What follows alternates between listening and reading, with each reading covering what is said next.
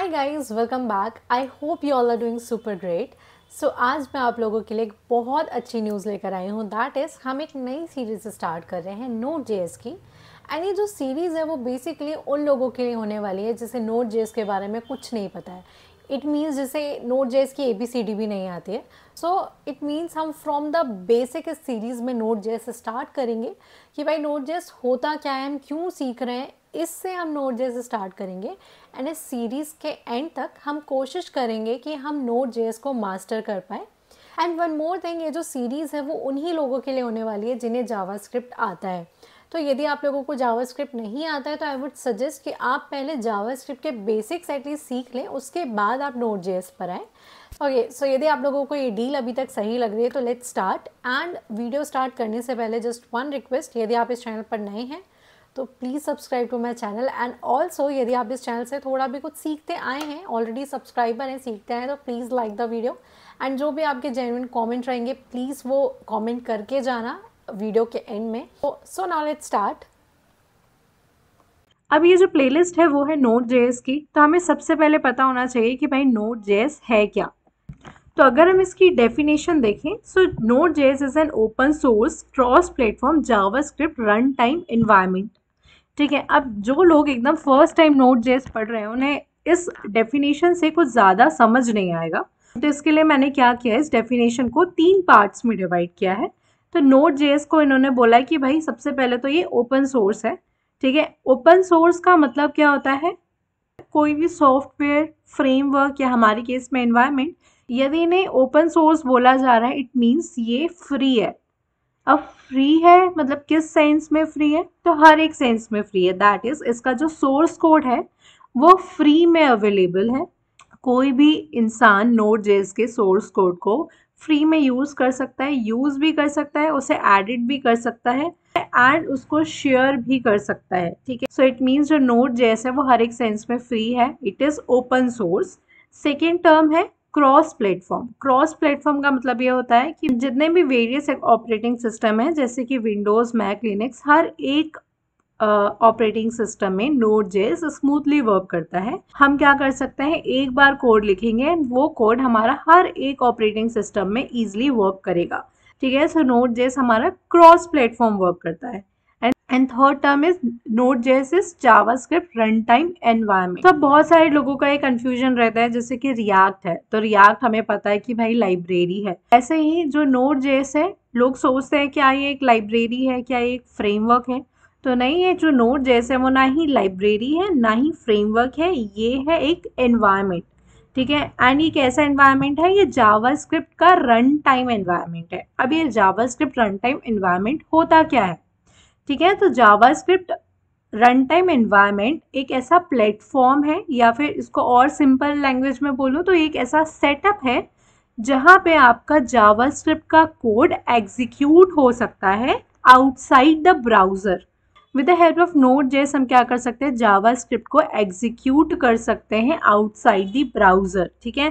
तो अगर मैं इसको और सिंपल किसी एग्ज़ाम्पल से आप लोगों को समझाऊं तो फॉर एग्ज़ाम्पल आप लोगों के पास कोई रेसिपी है जिसमें आपको इंस्ट्रक्शंस दिए हुए हैं कि भाई सबसे पहले आपको फॉर एग्ज़ाम्पल सैंडविच की रेसिपी है कि भाई सबसे पहले आपको ब्रेड लेनी है फिर सॉसेस लगाना है फिर फिलिंग्स डालनी है ठीक है? सो so, आप लोगों के पास ये इंस्ट्रक्शन है ये पूरी रेसिपी है ठीक है? सो so, ये जो रेसिपी है वो आपका हो गया जावास्क्रिप्ट का कोड आपके पास ये पूरा जावास्क्रिप्ट का कोड लिखा हुआ है लाइन बाय लाइन। लेकिन अब अगर आपको सैंडविच एक्चुअली रेसिपी से कन्वर्ट करना है एक्चुअल डिश में उसको बनाना है तो उसको बनाने के लिए आपको चाहिए एक सेटअप एक किचन चाहिए जिसमें आप उस सैंडविच को बना सकें।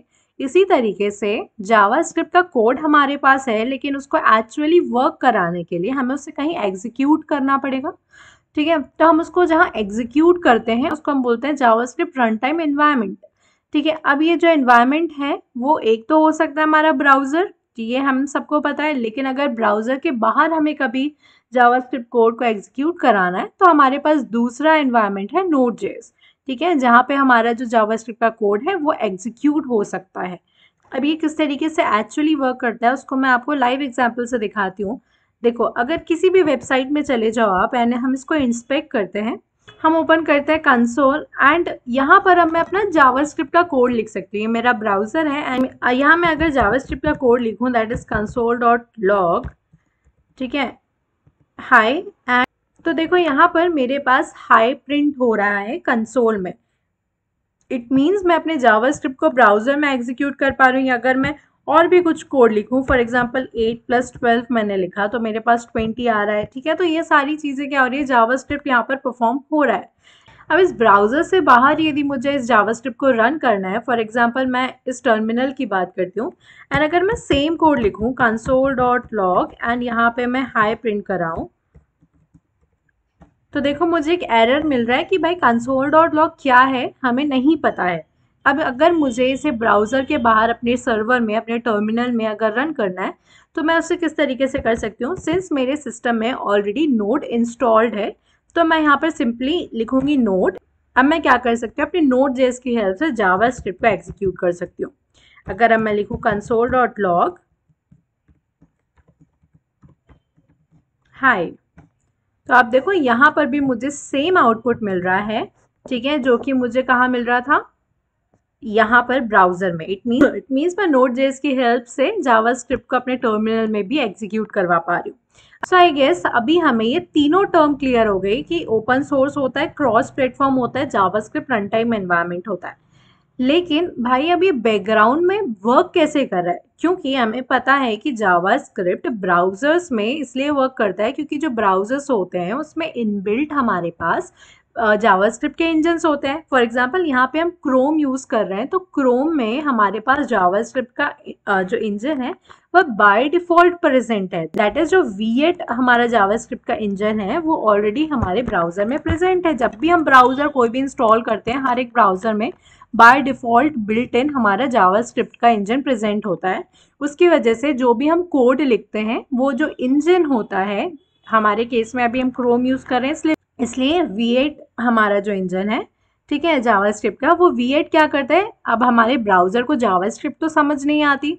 सो so, ये जो V8 है वो जावा स्क्रिप्ट के कोड को क्या कर देता है? कन्वर्ट कर देता है एक मशीन लैंग्वेज में। एंड कन्वर्ट करने के बाद जो हमारा जावा स्क्रिप्ट कोड है वो ईजिली क्या होता है? एग्जीक्यूट हो जाता है। और हम अब लेकिन हमें पता है कि जो V8 है वो हमारे जावा स्क्रिप्ट के कोड को कन्वर्ट कर देता था एक मशीन लैंग्वेज में। एंड ये जो वी एट है, वो प्रेजेंट है ब्राउज़र में। लेकिन अब हमारे टर्मिनल में वी एट तो प्रेजेंट नहीं है तो किस तरीके से हमारा जावा स्क्रिप्ट कोड एग्जीक्यूट हो रहा है, किस अब देखो यार टर्मिनल में ही हमें एक इन्फॉर्मेशन दी है कि जो नोट जो है, वो एजेंशियली कंबाइन करता है वी एट इंजन को, जो कि हमारे जावा स्क्रिप्ट को रन करता है with additional functionality provided by C plus plus to create a powerful run time environment for for building server side application ठीक है? ओके सो बेसिकली हुआ क्या? नोट जे बना कैसे? सबसे पहले हम जो जावास्क्रिप्ट है, वो सिर्फ़ ब्राउज़र में एग्जीक्यूट कर पाते थे with the help of V अब जो डेवलपर्स थे, उनने सोचा कि भाई हम सर्वर साइड में भी अगर जावास्क्रिप्ट को यूज़ कर पाए तो कितना बढ़िया हो। लेकिन हम सर्वर साइड में कैसे करेंगे? क्योंकि वी प्रेजेंट नहीं है। ठीक है? तो इन्होंने क्या किया? वी को उठाया, जो कि जावास्क्रिप्ट को एग्जीक्यूट करता है।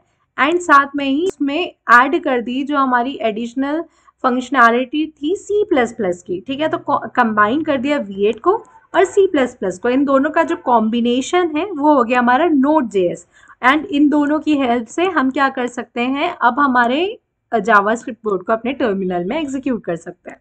सो so, अभी हमने तीन चीज़ें क्लियर कर ली कि भाई ये प्लेलिस्ट किसके लिए है? नोट जेस क्या होता है? नोट जेस किस तरीके से वर्क करता है? अब बात आती है कि भाई, ठीक है, हमें ये सारी इन्फॉर्मेशन मिल गई, लेकिन हम फिर भी क्यों सीखें नोट जेस ओके सो देखो, सबसे सबसे बड़ा बेनिफिट है कि आप नोट जेएस सीखकर फुल स्टैक डेवलपर बन सकते हैं। ठीक है? कैसे बन सकते हैं? कि भाई, देखो, आपको नोट जेएस के लिए कैसे भी करके जावास्क्रिप्ट तो सीखनी है एंड यदि आप एक फ्रंट एंड डेवलपर हैं तो आपने ऑलरेडी जावास्क्रिप्ट सीखा ही हुआ होगा। ठीक है? अब आपको ऑलरेडी जावास्क्रिप्ट आती है आप एक फ्रंट एंड डेवलपर हैं या बनना चाहते हैं तो आप सेम सीखी सिखाई लैंग्वेज से ही आप बैक एंड डेवलपर भी बन सकते हैं। आपको बैक एंड डेवलपर बनने के लिए कोई अलग से लैंग्वेज uh, शुरू से पढ़ने की ज़रूरत नहीं है। आपको ना ही जावा पढ़ना है ना पाइथन पढ़ना है ना सी ना सी प्लस प्लस कुछ नहीं पढ़ना है। अगर आपको जावा स्क्रिप्ट आती है तो आप इजीली बैक एंड डेवलपर भी बन सकते हैं। एक लैंग्वेज सीखो जावास्क्रिप्ट उससे आप front end and back end दोनों सीख के फुल स्टैक जावास्क्रिप्ट डेवलपर बन सकते हैं। दूसरी चीज़ जो नोट जैसे बहुत फास्ट है, बहुत स्केलेबल है। एंड नोट जेएस से आप मॉडर्न वेब एप्लीकेशंस बना सकते हैं एपीआईज बना सकते हैं रियल टाइम एप्लीकेशंस बना सकते हैं। ठीक है, काफ़ी सारी चीज़ें हैं जो कि नोट जेएस बहुत इजी कर देता है एंड साथ में जो नोट जेएस है, उसकी वैल्यू भी मार्केट में है, काफ़ी ज़्यादा है। तो आपका जो करियर ग्रोथ है, इससे ज़्यादा ही होना है as a developer so I guess that is all for this video guys मैंने बहुत सिंपल वे में आप लोगों को नोट जेस के बारे में इंफॉर्मेशन देने की कोशिश की है एंड आई रियली होप आप लोगों को ये समझ आया होगा.